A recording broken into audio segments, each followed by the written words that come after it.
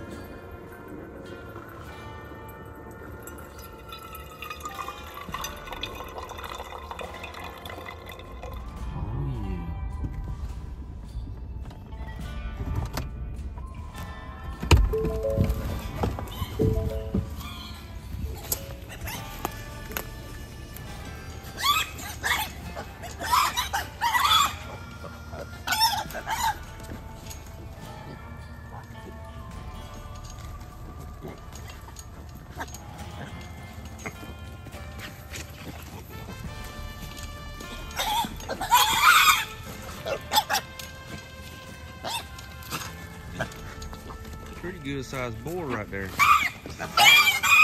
Ain't very big body, but he's fat. Alright, let me get, uh, get the gun out and take care of these before they tear up my net. Show y'all what they look like when I'm done. Alright, y'all. Oh, what was that? Look at this, beautiful morning. We got them taken care of. We got two sows, one big, short, curly-haired boar, looks like a propane tank, and six little ones. Um, hope y'all enjoyed this little short video.